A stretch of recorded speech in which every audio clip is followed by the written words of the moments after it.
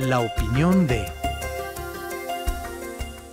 Amigos de Canal 7, la persecución de los delitos y la procuración de justicia deben de ser funciones alejadas de todo interés político.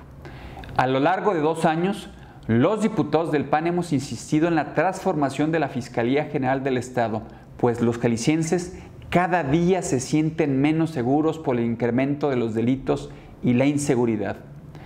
Por esta razón, impulsamos que la Fiscalía del Estado fuera independiente del gobierno, porque creemos que la función que esta institución desempeña debe de estar sujeta únicamente a los principios de la ética, la imparcialidad y el desempeño profesional íntegro.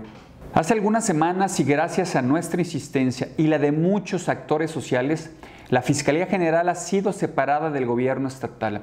Sin embargo, esto no es suficiente ya que los grupos parlamentarios mayoritarios en el Congreso, en sintonía con el Ejecutivo de Jalisco, impusieron un método de selección del fiscal general que no permite la participación social y que privilegia la opacidad. Desde el PAN somos claros, ningún órgano constitucional autónomo del Estado, como ahora lo es la Fiscalía General, debe de responder intereses políticos, por lo que insistiremos en los próximos días para que el gobierno estatal y los diputados del PRI y Movimiento Ciudadano desistan en su interés de imponer un fiscal que responda a intereses políticos.